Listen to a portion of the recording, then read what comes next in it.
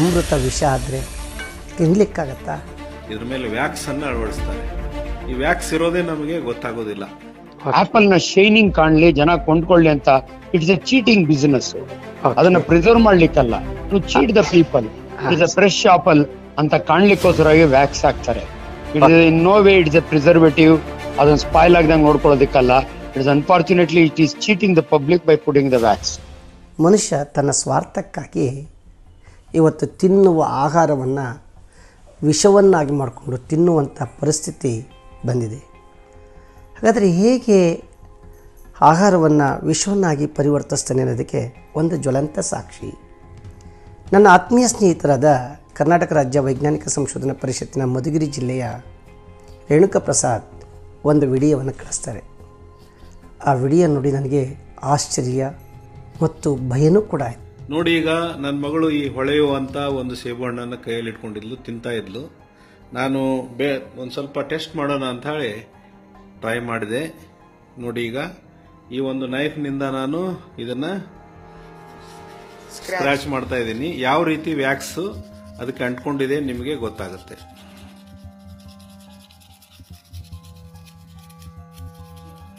ಇಷ್ಟೊಂದು ವ್ಯಾಕ್ಸ್ ಅನ್ನ ಒಬ್ಬ ವ್ಯಕ್ತಿ ನಾವು ಸೇವನೆ ಮಾಡಿದರೆ ಮುಂದೆ ನಮಗೆ ಯಾವ ರೀತಿ ಹಾನಿ ಆಗುತ್ತೆ ಅನ್ನೋದು ನಿಮಗೆ ಗೊತ್ತಾಗುತ್ತೆ.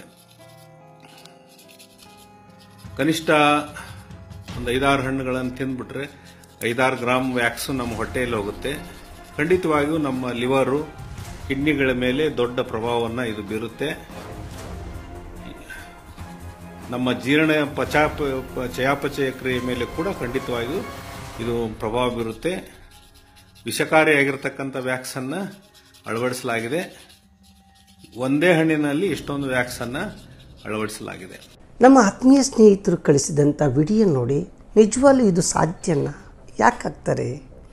ನಾನು ಯಾವುದನ್ನೇ ಆಗಲಿ ಸಂಶೋಧನೆ ಅಥವಾ ಪರಿಶೀಲನೆ ಮಾಡಿದಲೇ ಒಪ್ಕೊಳ್ಳೋ ಅಂಥ ಮನಸ್ಸು ನಂದಲ್ಲ. ಅದಕ್ಕೋಸ್ಕರ ಮಾರ್ಕೆಟ್ಗೆ ಹೋಗಿ ನಾನು ಒಂದು ಕೆ ಜಿ ಆ್ಯಪಲ್ನ ತೊಗೊಂಡು ಬಂದೆ ಯಾಕೆಂದರೆ ಮಾರ್ಕ್ಸ್ ಇರೋಂಥ, ಈ ರೀತಿ ಇರೋವಂಥ ಗುರುತಿರೋವಂಥದ್ದು ಅಂದರೆ ಸೇಬಲ್ಲಿ ಈಗೆಲ್ಲ ಮಾರ್ಕ್ ಇದೆ. ಈ ಥರದ ಹಣ್ಣುಗಳನ್ನ ನಾನು ತೊಗೊಂಡು ಬಂದೆ. ಮತ್ತು ಆರ್ಡಿನರಿ ಹಣ್ಣುಗಳು, ನಮ್ಮಲ್ಲೇ ಸಿಗ್ತಕ್ಕಂಥ ಹಣ್ಣುಗಳನ್ನು ಕೂಡ ಕೆಲವು ಹಣ್ಣುಗಳನ್ನ ತಂದಿದ್ದೀನಿ. ಇವೆರಡೂ ಹಣ್ಣುಗಳನ್ನು ನಾನು ಪರಿಶೀಲನೆ ಮಾಡ್ತೀನಿ.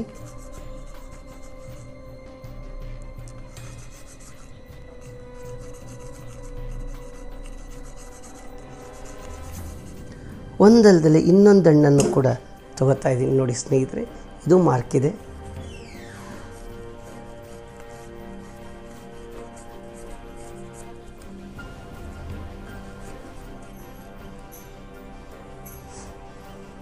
ಒಂದು ಆಪಲ್ ತಿಂದರೆ ಇಷ್ಟು ಮೇಣ ನಮ್ಮ ದೇಹಕ್ಕೆ ಹೋಗುತ್ತೆ.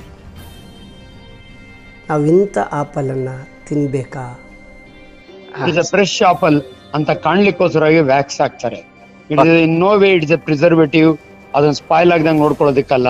It's unfortunately it is cheating the public by putting the wax ಅಕಸ್ಮಾತ್ ಅದನ್ನ ತಿಂದ್ರೆ ನಮ್ಮ ದೇಹದಲ್ಲಿ ಏನಾಗುತ್ತೆ? ಸರ್ ಒಂದಂತೂ ಸರ್ಟನ್ ಯಾವುದೇ ಸ್ಟೊಮಕ್ಕಿಗೆ ಇಂಥ ಪದಾರ್ಥಗಳು ಹೋದಾಗ ಅದು it will have some definitely side effect ನಮ್ಮಲ್ಲಿ ಕ್ಯಾನ್ಸರ್ ಒಂದು ಡೆಫಿನೇಷನ್ ಇದೆ ಸರ್. ಕಾರ್ಸಿನೋಜೆನ್ಸ್ ಅಂತೀವಿ ನಾವು. ಯಾವ ವಸ್ತು ಕ್ಯಾನ್ಸರ್ ಮಾಡುತ್ತಲ್ಲ ಅದನ್ನ ನಾವು ಕಾರ್ಸಿನೋಜೆನ್ ಅಂತೀವಿ ನಾವು. Anything under the sun including the sun is a carcinogen. ಇದ್ರೊಳಗೆ ಹೈಡ್ರೋಕಾರ್ಬನ್ಸ್ ಇರುತ್ತೆ ಸರ್ ಈ ವ್ಯಾಕ್ಸ್ ಒಳಗೆಲ್ಲ ಒಂದ್ ತಿಂದ್ರೆ ಏನಾಗಲ್ಲ ಎರಡ್ ತಿಂದ್ರೆ ಏನಾಗಲ್ಲ. ಅನ್ಫಾರ್ಚುನೇಟ್ಲಿ ಕ್ಯಾನ್ಸರ್ ಹಂಗಂದ್ರೆ it can be triggered by even one smoke can trigger a cancer. Not necessarily ದಿನ ಸಿಗರೇಟ್ ಸೇದ್ಬೇಕು ಅಂತ ಏನಿಲ್ಲ. ಲೈಕ್ ದಟ್ ದಿಸ್ ವ್ಯಾಕ್ಸ್ ಇವಾಗ ನಾವು ನೋಡಿದೀವಿ ಸರ್ ತುಂಬಾ ಜನ ಒಳ್ಳೆಯವ್ರು ಇರ್ತಾರೆ. ಅವ್ರಿಗೆ ಏನು ಕೆಟ್ಟ ಅಭ್ಯಾಸ ಇರಲ್ಲ. ಆದ್ರೂ ಕ್ಯಾನ್ಸರ್ ಕ್ಯಾನ್ಸರ್ ಸ್ಟಮಕ್ ಆಗುತ್ತೆ. ಯಾಕಂದ್ರೆ ಅನ್ಫಾರ್ಚುನೇಟ್ಲಿ ಅವ್ರದೇ ನಾಲೆಡ್ಜ್ ಇಲ್ದಿರಾ ಅವ್ರದೇ ತಪ್ಪಿಲ್ದಿರಾ ಇಂಥ ಸಾಮಾಜಿಕ ಘಾತಕರಿಂದ ಮೋಸ ಹೋಗಿ ಇಂಥ ಹಣ್ಣು ತಿಂದಿರ್ತಾರಲ್ಲ ಮುಂದೆ ಅವನಿಗೆ ಕ್ಯಾನ್ಸರ್ ಆಗೋದು ತುಂಬಾ ಜನ ನಮ್ಗೆ ಈ ಪ್ರಶ್ನೆ ಕೇಳ್ತಾರೆ ಡಾಕ್ಟ್ರೆ ನಮ್ ತಾತ ಮಹಾ ದೈವ ಭಕ್ತ ಯಾವತ್ತೂ ಏನು ಕೆಟ್ಟದ್ದು ಅಭ್ಯಾಸ ಮಾಡಿರ್ಲಿಲ್ಲ. ಆದ್ರೂ ಕ್ಯಾನ್ಸರ್ ಆಫ್ ದಿ ಪ್ಯಾಂಕ್ರಿಯಸ್ ಆಯ್ತು ಸ್ಟೊಮಕ್ ಆಯ್ತು ಯಾಕೆ ಡಾಕ್ಟರ್ ಅಂದ್ರೆ ಇಂಥ ಕಲಬೆರಿಕೆಯ ವಸ್ತುಗಳಿಂದ ಮನುಷ್ಯ ಸದಾ ಎಕ್ಸ್ಪೋಸ್ ಆಗ್ತಾ ಹೋಗಿ. ಅವನದೇ ತಪ್ಪಿಲ್ದಿರ ಈ ಕ್ಯಾನ್ಸರ್ ಕಾಯಿಲೆಗಳು ಅಂತವಳಿಕೆ ತಗಲಾಕೊಳ್ತಾರೆ ಸರ್ ಮೇನ್ಲಿ ಕ್ಯಾನ್ಸರ್ ಸರ್ ಬೇರೆ ಇನ್ನೇನು ಕಾರಣ ಇವೆಲ್ಲ ಕಾರ್ಸಿನೋಜನ್ಸ್ ಅಂತೀವಿ. ಎನಿಥಿಂಗ್ ಹೈಡ್ರೋಕಾರ್ಬನ್ಸ್ ಇರೋವು ಅನೇಕ ಅಂತ ಮೆಟೀರಿಯಲ್ಗಳು ಇರ್ತಾವ ಸರ್ ಹಾಗಾಗಿ ತಿನ್ನೋದ್ಕಿಂತ ಮುಂಚೆ ನಾವು ಹೇಗೆ ಮಾಡ್ಬೇಕು ಅದನ್ನ ತೊಳೆಯೋದು ಅಥವಾ ಬಿಸಿನೀರಲ್ಲಿ ಏನ್ ಮಾಡ್ಬೋದು ಸರ್? ತೊಳಿಬೇಕು ಸರ್ ಬಿಸಿನೀರಿನಲ್ಲಿ. ಕೆಲವರು ಅದು ನೈಫ್ ಎಷ್ಟೋ ಸರಿ ತೊಳೆದ್ರು ಹೋಗಲ್ಲ. But I don't know what chemical will remove ಈ ವ್ಯಾಕ್ಸಿನ್ ಅಂತ ನನಗೆ ಕರೆಕ್ಟ್ ಆಗಿ ಐಡಿಯಾ ಇಲ್ಲ. ಬಟ್ ಚೆನ್ನಾಗಿ ವಾಶ್ ಮಾಡೋದ್ರಿಂದ ಅಥವಾ ಚಾಕುನೊಳಗೆ ಅದನ್ನ ಸ್ಕ್ರೇಪ್ ಮಾಡೋದ್ರಿಂದ ಅನ್ಫಾರ್ಚುನೇಟ್ಲಿ ಕೆಲವು ಹಣ್ಣುಗಳು ಸಿಪ್ಪೆ ತೆಗಿತೀವಿ ನಾವು. ಕಿತ್ಲೆ ಹಣ್ಣು ಅಂತವು ಬಟ್ ಆಪಲ್ಗೆ ಅದು ಆಗಲ್ಲ. ಇನ್ ಕೆಲವುಗಳಿಗೆ ಸೌತೆಕಾಯಿ ಅದನ್ನೆಲ್ಲ ಅದನ್ನ ಮೇಲ್ಗಡೆ ಕೊರಿತಾರೆ ಇದನ್ನ ಎರಿತಾರೆ ಬಟ್ ಆಪಲ್ಗೆ ಯಾರು ಎರಿಯಲ್ಲ. ಅನ್ಫಾರ್ಚುನೇಟ್ಲಿ ಇದೊಂದು ಪ್ರಾಬ್ಲಮ್ ವಿತ್ ಆಪಲ್ ಸರ್ ಜನಸಾಮಾನ್ಯರ ಗಮನಕ್ಕೆ ಇದನ್ನ ನಾವು ತರಬೇಕು. ಫ್ರೆಶ್ ಆಪಲ್ ಎಲ್ಲಿ ಮರದಿಂದ ಬರ್ತಾವಲ್ಲ. ಅಂತವನ್ನ ನೀವು ತೊಳೆದು ತಿನ್ಬಹುದು ಬಟ್ ಅನ್ಫಾರ್ಚುನೇಟ್ಲಿ ನಮ್ಮ ದೇಶದಲ್ಲಿ ಚೀಟಿಂಗ್ ಯಾವ ಮಟ್ಟಕ್ಕೆ ನಡೆಯುತ್ತೆ ಅಂದ್ರೆ ಈ ವ್ಯಾಕ್ಸಿನ್ ಹಾಕ್ತಾರೆ ಅದನ್ನ ಅಪಿಯರೆನ್ಸ್ನ ಜನ ಕೊಂಡ್ಕೊಳ್ಳೋ ಹೋಗಿ ಫ್ರೆಶ್ ಕಾಣುತ್ತೆ ರೆಡ್ ಕಾಣುತ್ತೆ. ಶೈನಿಂಗ್ ಇರುತ್ತೆ ಇದು ಒಳ್ಳೆ ಹಣ್ಣು ಅಂತ ತಗೊಳ್ತಾರೆ. ನಮ್ಮಂತವ್ರು ನಿಮ್ಮಂತವ್ರಿಗೆ ಈ ತರ ವ್ಯಾಕ್ಸ್ ಹಾಕ್ತಾರೆ ಅಂತ ಗೊತ್ತಿದ್ರು ಓಕೆ ಗೊತ್ತಿದ್ರು. ಚೀಟ್ ಹಾಕ್ತಾರೆ ಸರ್ ಇದಾಗಬಾರ್ದು ನಮ್ಮ ನಿಮ್ಮಂತವರ ಸಾಮಾಜಿಕ ಜವಾಬ್ದಾರಿ ಇಂಥದನ್ನ ಜನಸಾಮಾನ್ಯರಿಗೆ ಗಮನಕ್ಕೆ ತಂದು ಅದಕ್ಕೆ ನಾನು ಹೇಳಿದೆ ಸರ್ ಸೇಪೆ ಹಣ್ಣಿಗೆ ಯಾರು ವ್ಯಾಕ್ಸ್ ಹಾಕಲ್ಲ. ಅದಕ್ಕೆ ಒನ್ ಒನ್ ಸೀಬೆ ಹಣ್ಣು is equal to six apple ಅಂತ ಹೇಳಿದೆ ಎಲ್ಲ ಒಂದ್ ಕಡೆ ನ್ಯೂಟ್ರಿಷನ್ ವೈಸ್ ಸೊ ಈ ದೃಷ್ಟಿಯಲ್ಲೂ ಕೂಡ ಅವರು ಸೇಪ್ ಹಣ್ಣಿಗೆ ವ್ಯಾಕ್ಸ್ ಹಾಕಕ್ಕಾಗಲ್ಲ. ನಮ್ಮ ಸ್ವಂತ ಬೆಳೆದ ಹಣ್ಣನ್ನ ದಯವಿಟ್ಟು ಈಸಿಯಾಗಿ ತೊಳೆದು ತಿನ್ನಿ. ಆಪಲ್ ಕೊಂಡ್ಕೊಳಕ್ ಹೋಗಿ ಜಾಸ್ತಿ ರೊಕ್ಕ ಕೊಟ್ಟು ಮೋಸ ಹೋಗ್ಬೇಡಿ ಅನ್ನೋ ಮಾತನ್ನ ನಾವು ಜನಸಾಮಾನ್ಯರಿಗೆ ತಿಳಿಸ್ಬೇಕು sir. Thank you sir thank you sir thank you very much doctor Lakshmipathi ಅಂತ ಕೃಷಿ ತಜ್ಞರು. ಓಕೆ ಸರ್ ಸರ್ ಒಂದು ಸಮಸ್ಯೆ ಬಂದಿದೆ. ಈ ಆಪಲ್ ಇದೆ ಹಣ್ಣು ನಾವು ತಿಂತಕ್ಕಂತ ಹಣ್ಣುಗಳಿವೆ. ಅದರಲ್ಲೂ ಮುಖ್ಯವಾಗಿ ಆಪಲ್ಗಳಲ್ಲಿ ಎಲ್ಲಾ ಹಣ್ಣುಗಳಲ್ಲಿ ಇರ್ತದೆ ಅಂತ ಹೇಳ್ತಾರೆ ನನಗೆ ಗೊತ್ತಿಲ್ಲ ಅದ್ ನೀವ್ ಹೇಳ್ಬೇಕು. ಆಪಲ್ ಮೇಲೆ ಅದನ್ನ ಕೆರೆದ್ರೆ ಚಾಕಲ್ಲಿ ವ್ಯಾಕ್ಸ್ ತರ ಬರುತ್ತೆ ಮೇಣ. ತರ ಬರುತ್ತೆ. ಅದು ಯಾಕೆ ಹಾಕ್ತಾರೆ? ಅದು ಹಾಕೋದ್ರಿಂದ ಉದ್ದೇಶ ಏನು? ಮತ್ತೆ ಅದನ್ನ ತಿನ್ಬೋದಾ? ತಿಂದ್ರೆ ದೇಹದ ಮೇಲೆ ಆರೋಗ್ಯದ ಮೇಲೆ ಏನು ವ್ಯತ್ಯಾಸ ಆಗಲ್ವಾ ಅನ್ನೋದ್ರ ಬಗ್ಗೆ ಸೈಂಟಿಫಿಕ್ ಆಗಿ ನನಗೊಂದು ಮಾಹಿತಿ ಕೊಡಿ ಸರ್. ಸರ್ ಇದು ಜಮ್ಮು ಕಾಶ್ಮೀರದ ಹತ್ರ ಚಳಿ ಪ್ರದೇಶದಲ್ಲಿ ಬೆಳೆಯುವಂತ ಬೆಳೆ. ಹ್ಮ್. ಇದು ಸೀಸನಲ್ ಕ್ರಾಪ್ ಅಲ್ಲ ಪೆರಿನಿಯಲ್ ಕ್ರಾಪ್ ಹ್ಮ್ ಹ್ಮ್. ಮರವಾಗಿ ಬೆಳೀತದೆ. ಹ್ಮ್. ಇದನ್ನ ಸಾಮಾನ್ಯವಾಗಿ ಹ್ಮ್. ಆ, ಈ ಹಣ್ಣನ್ನ ಹಾರ್ವೆಸ್ಟ್ ಮಾಡಿದ್ಮೇಲೆ ಹ್ಮ್.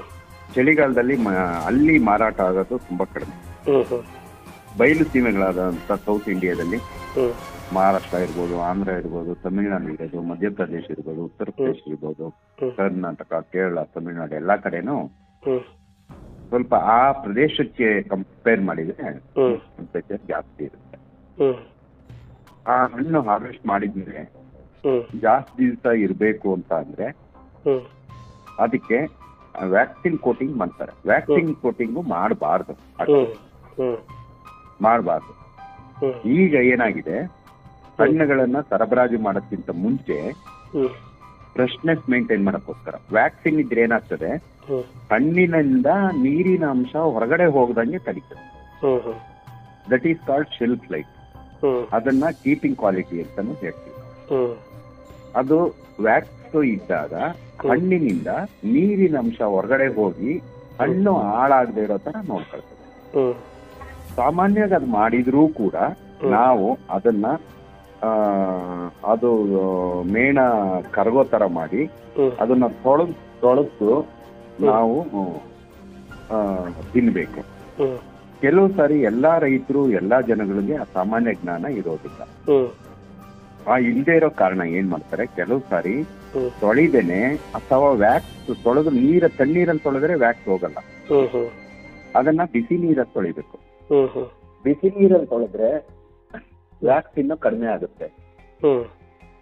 ಆ ಬಿಸಿ ನೀರಲ್ಲಿ ತೊಳೆದು ತಿಂದ್ರೆ ಸ್ವಲ್ಪ ಪ್ರಮಾಣದಲ್ಲಿ sixty to eighty percent wax ಹೊರಟೋಗುತ್ತೆ. ಇಲ್ಲ ಟ್ವೆಂಟಿ ಪರ್ಸೆಂಟ್ ಇರುತ್ತೆ. ಆ ಟ್ವೆಂಟಿ ಪರ್ಸೆಂಟ್ ವ್ಯಾಕ್ಸ್ ನಮ್ಮ ದೇಹದೊಳಗೆ ಸೇರಿದಾಗ ನಾವು ಜಠರ ಆಗ್ಲಿ ಕಿತ್ತಕೋಶ ಆಗ್ಲಿ ಲಿವರ್ ಆಗ್ಲಿ ಕಿಡ್ನಿಗಳಾಗ್ಲಿ ಎಲ್ಲೇ ಯಾವುದೇ ಜಾಗದಲ್ಲಾದ್ರೂ ಕೂಡ ಹಾನಿ ಉಂಟು. ಯಾಕಂದ್ರೆ ಯಾವುದೇ ಅದು ನ್ಯಾಚುರಲ್ ವ್ಯಾಕ್ಸ್ ಅಲ್ಲ.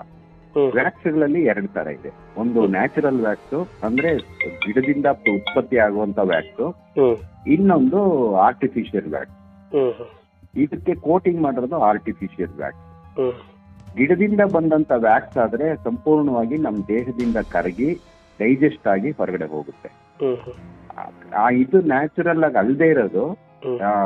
ಕೃತಕವಾಗಿ ಮಾಡಿದಂತ ಏನು ವ್ಯಾಕ್ಸ್ ದೇಹದೊಳಗಡೆ ಉಳಿದು ಕೆಲವು ದುಷ್ಪರಿಣಾಮಗಳಿಗೆ ಕಾರಣ. ಅದಕ್ಕೋಸ್ಕರ ಇದರ ಮಾಹಿತಿ ನಾವು ತುಂಬಾ ರೈತರಿಗೆ ಅಥವಾ ಜನಗಳಿಗೆ ಆಪಲ್ ಬಗ್ಗೆ ಕೊಟ್ಟಾಗ ಅದ್ರ ಬಗ್ಗೆ ತಿಳ್ಕೊಂಡು ವಾಶ್ ಮಾಡಿ ಬಿಸಿನೀರಲ್ಲಿ ತಿಂದ್ರೆ ಆರೋಗ್ಯಕ್ಕೆ ಪರವಾಗಿಲ್ಲ. ಇಲ್ಲ ಅಂದ್ರೆ ದುಷ್ಪರಿಣಾಮಗಳು ತುಂಬಾ ಇರುತ್ತೆ. ವ್ಯಾಕ್ಸಿನ್ ಬಾಡಿಲಿ ಉಳಿದೋಗ್ತದೆ. ಎಲ್ಲಾ ಕಡೆ ಬ್ಲಾಕೇಜ್ ಸ್ಟಾರ್ಟ್ ಆಗ್ತದೆ. ಬ್ಲಾಕೇಜ್ ಸ್ಟಾರ್ಟ್ ಆದಾಗೆ ಮೋಷನ್ ವ್ಯಾಕ್ಸ್ ಇದ್ರೆ ಮೋಷನ್ ಕ್ಲಿಯರ್ ಆಗಿ ಹೋಗಲ್ಲ. ಮೋಷನ್ ಕ್ಲಿಯರ್ ಆಗಿ ಹೋಗದೆ ಇದ್ರೆ ವಾತ ಸ್ಟಾರ್ಟ್ ಆಗುತ್ತೆ. ವಾತ ಸ್ಟಾರ್ಟ್ ಆದ್ರೆ ಮಂಡಿ ನೋವು ಸ್ಟಾರ್ಟ್ ಆಗುತ್ತೆ. ಮಂಡಿ ನೋವು ಸ್ಟಾರ್ಟ್ ಆದ್ರೆ ಬಾಡಿ ದಪ್ಪ ಆಗುತ್ತೆ.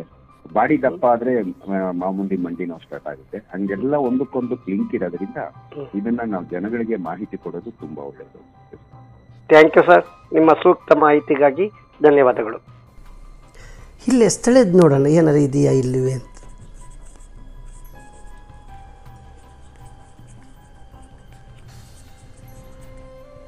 ಇವನು ನೋಡಿ ಎಷ್ಟು ವ್ಯತ್ಯಾಸ ಇದೆ ಅಂತ. ಸ್ಥಳೀಯವಾಗಿ ರೈತರು ಬೆಳೆದಂಥ ಆಹಾರವನ್ನು ಯಾವುದೇ ವಿಷಯುಕ್ತ ಇಲ್ಲದಾಗೆ ತಿನ್ನಬೇಕು ಅಂದರೆ ಸ್ಥಳೀಯದ ಫುಡ್ಡನ್ನು ತಿನ್ನಬೇಕು ಆದರೆ ಇದು ಕಾಶ್ಮೀರದಲ್ಲಿ ಬೆಳೆಯುತ್ತೆ, ಅಲ್ಲಿಂದ ಇಲ್ಲಿ ಬರುವಷ್ಟೊತ್ತಿಗೆ ಅದು ಒಣಗೋಗುತ್ತೆ, ಅದಕ್ಕೆ ಅದು ಇದರೊಳಗಡೆ ಇರತಕ್ಕಂಥ ನೀರಿನ ಅಂಶ ಹೊರಗಡೆ ಹೋಗಬಾರ್ದು.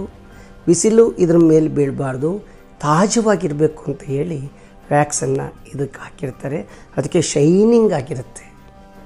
ನೋಡಲಿಕ್ಕೆ ತುಂಬ ಚೆನ್ನಾಗಿರುತ್ತೆ.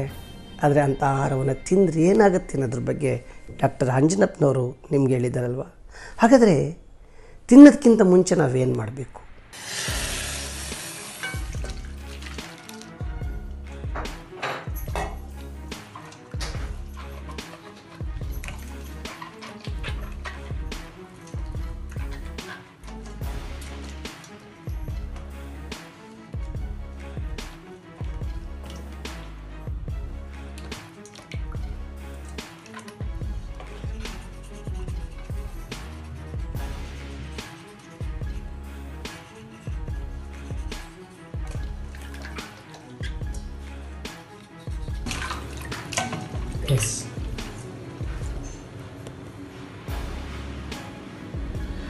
ಇದು ಬಿಸಿನೀರಲ್ಲಿ ತೊಳೆದಿದ್ದೀವಿ. ಇದರಲ್ಲಿ ಯಾವುದೇ ರೀತಿಯ ಮೇಣ ಇಲ್ಲ. ನೀವೇ ಅಬ್ಸರ್ವ್ ಮಾಡಿ. ಅತ್ಯಂತ ಹೆಚ್ಚು ಬಿಸಿಯಾದಂಥ ನೀರಲ್ಲಿ ತೊಳೆದ್ರೆ ಮೇಣ ಕರಗೋಗುತ್ತೆ. ಅಂಥ ಆಹಾರವನ್ನು ನಾವು ತಿನ್ನೋಣ. ಪ್ರಕೃತಿ ನಮಗೆ ಅಮೃತವನ್ನು ಕೊಡುತ್ತೆ. ಆದರೆ ನಾವು ನಮ್ಮ ಸ್ವಾರ್ಥಕ್ಕಾಗಿ ಅಮೃತವನ್ನು ವಿಷವನ್ನಾಗಿ ಮಾಡಿಕೊಂಡು ಕ್ಯಾನ್ಸರ್ ಕಡೆಗೆ ಹೋಗ್ತೇವೆ. ಕ್ಯಾನ್ಸರ್ ಬರುತ್ತೆ ಇಂಥ ಆಹಾರವನ್ನು ತಿನ್ನೋದ್ರಿಂದ. ಇಂಥ ಆಹಾರವನ್ನು ಅಂದರೆ ಇದರ ಮೇಲೆ ಕೋಟೆಡ್ಡಿನ ಹಾಕಿದರೆ ಹಾಕಿದ್ದಾರೆ ಅಂತ ತಿನ್ನೋದ್ರಿಂದ ನಮ್ಮ ಕ್ಯಾನ್ಸರ್ ಖಂಡಿತ ಬರುತ್ತೆ, ನಮಗೆ ಗೊತ್ತಿಲ್ಲದಂಗೆ ಬರುತ್ತೆ. ಯಾವುದೇ ಹಣ್ಣುಗಳನ್ನಾಗಲಿ, ತರಕಾರಿಗಳನ್ನಾಗಲಿ ಮನೆಗೆ ತಂದಾಗ ಬಿಸಿನೀರಿನಲ್ಲಿ ತೊಳೆದು ತಿನ್ನೋದನ್ನು ನಾವೆಲ್ಲ ಕರೆಯೋಣ. ನಮ್ಮ ಆರೋಗ್ಯ, ನಮ್ಮ ಕೈಯಲ್ಲಿ. ನಮಸ್ಕಾರ. ಆತ್ಮೀಯರೇ, ನಿಮ್ಮ ಸುತ್ತಮುತ್ತ ವಾಮಾಚಾರ, ಮಾಟ ಮಂತ್ರ. ದೆವ್ವ ಭೂತಗಳ ಹೆದರಿಕೆಯಿಂದ ಮಾನಸಿಕ ಸಮಸ್ಯೆಗಳಿಂದ ಬಳಲುತ್ತಿರುವವರಿದ್ದರೆ ಕರ್ನಾಟಕ ರಾಜ್ಯ ವೈಜ್ಞಾನಿಕ ಸಂಶೋಧನಾ ಪರಿಷತ್ ಈ ನೋಂದಾಯಿತ ಸಂಸ್ಥೆಗೆ ಸಂಪರ್ಕಿಸುವ ಮೂಲಕ ಸಮಸ್ಯೆ ಮನಸ್ಸನ್ನು, ಮನುಷ್ಯನನ್ನು ಸುಡುವ ಮುನ್ನ ಸರಿಪಡಿಸಿಕೊಳ್ಳಿ. ನಿಮ್ಮ ಸ್ನೇಹಿತರು, ಹಿತೈಷಿಗಳು, ಸಂಬಂಧಿಕರು ಕಾಣದ ಕೈಗಳಿಗೆ ಬಲಿಯಾಗುವ ಮುನ್ನ ನಮ್ಮನ್ನು ಸಂಪರ್ಕಿಸಿ.